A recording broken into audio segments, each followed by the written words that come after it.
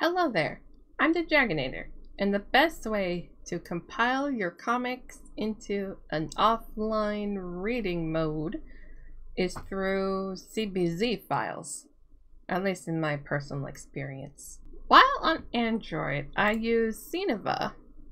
There is another comic reader out there that is free and open source, just like Seeneva, and it is called YAC Reader.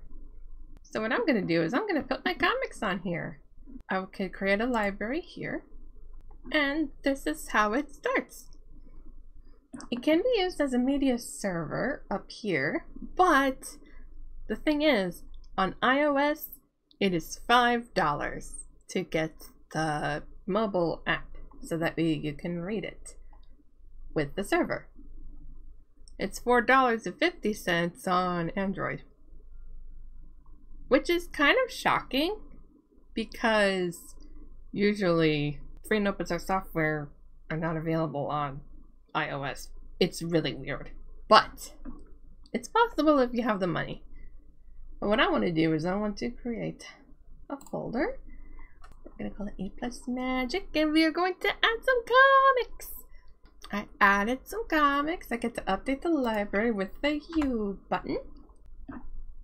So this is what it looks like after adding the comics.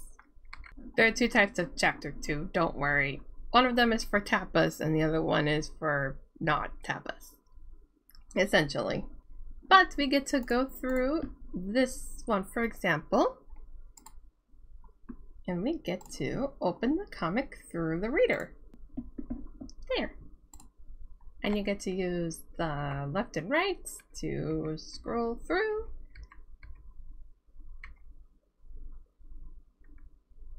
And yeah, that's how you use the comic reader library app.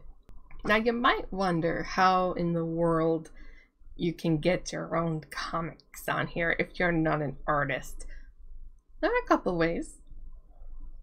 For one, I have put in the description below some free public domain comics they're all available through this .cbz file and you have to have an account.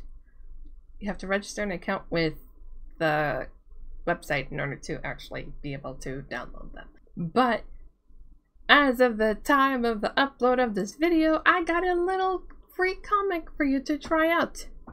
It'll be on my Ko-fi, so if you like my work, if you think that this looks really cute, or this looks really cute, you could check it out and see for yourself. It's free. A sort of try before you buy because all my other comics are $2. And yeah, I hope that you like the video and all that fun stuff. I know that I said that I was going to take a break from open source showcases, but I had an idea.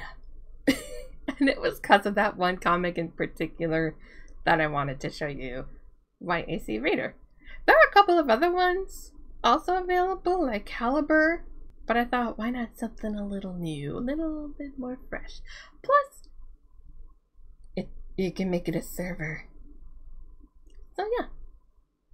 With all that said and done, stay safe, have a very good rest of your day. I hope to see you soon, and next week will be more backyard baseball.